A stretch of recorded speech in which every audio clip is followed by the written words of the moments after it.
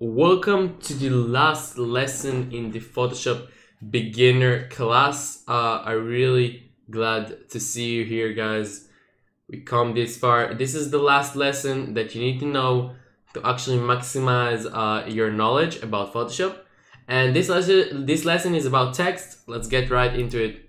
So the Photoshop text tool is right here. You go and there's this T um, letter and you just click on it Let's go ahead and click on it and then just choose a random location on the screen.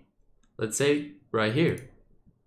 And then you can choose your font, uh, which basically um, just go right here and just click on this little arrow and you just can scroll through the fonts and choose whatever you like.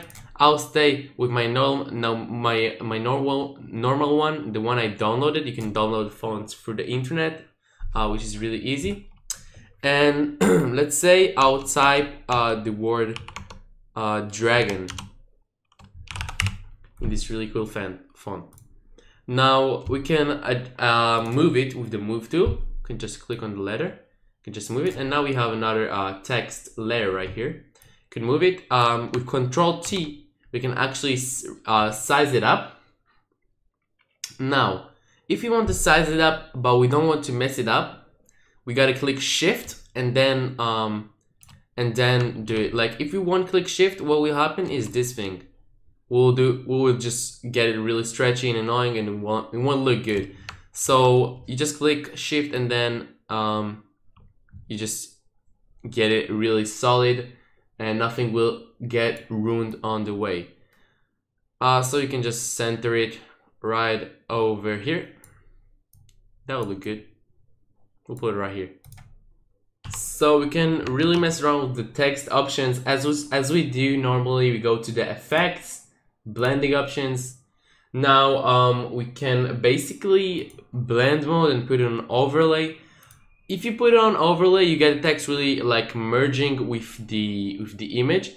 It can look really cool. Uh, if you get it down a little bit, it will just disappear. But you can actually just put it on overlay and it, it, can look really cool. It's not it's not that type right now for me because you just barely will see the text. You can put it on darken. Uh, you want to see actually these mods right here on this specific image.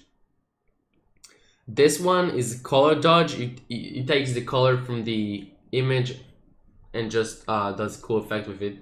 Um, we got some kinds of stuff right here. You can just choose whatever you want. Um, this one is cool too. I think I'll call I'll go with the color dodge because it just really mixes with the uh, with the with the background. So yeah, this effect um, is really cool. Um, we can also add some drop shadow. We don't want it to be too strong. We just want it a little bit. Uh, it will spice the text up a little bit.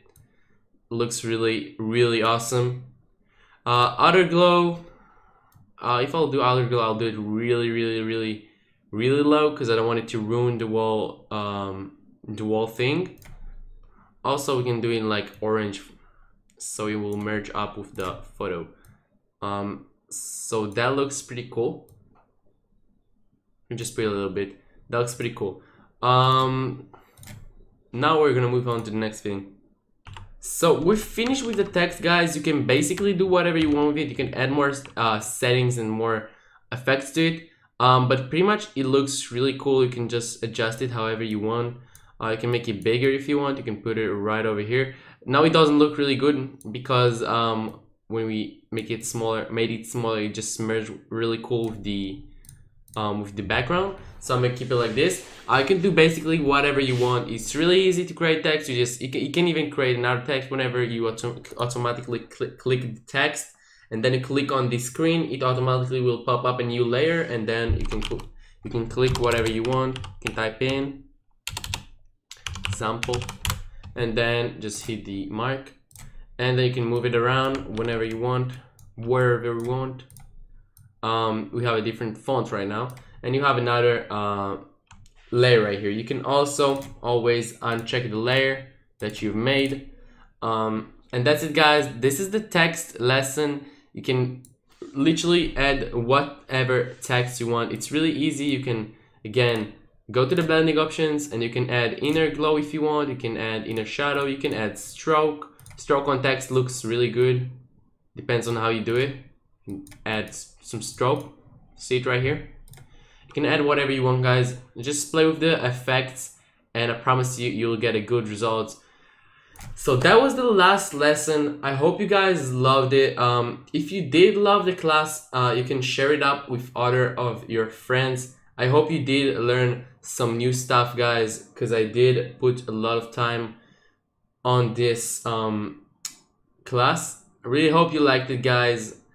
That's the beginner Photoshop guide. You have all the knowledge you need to know to actually start and create content and thumbnails and images and whatever you want to design.